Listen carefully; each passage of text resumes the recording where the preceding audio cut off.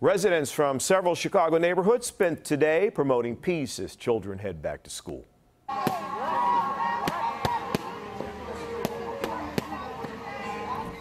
Local activists and church leaders from 10 West Side churches came together today for North Lawndale's Fight for Peace community event. 1,500 bags of school supplies and free books were given away to students. The churches also were giving away free clothes and offering activities and resources to kids in an effort to keep them off the streets. If you look at the word community, there's unity in the middle of it. We're trying to put unity back in the community. We refuse to stay in the house and we refuse to let our community live in fear. Organizers estimate 5,000 residents attended today's festival.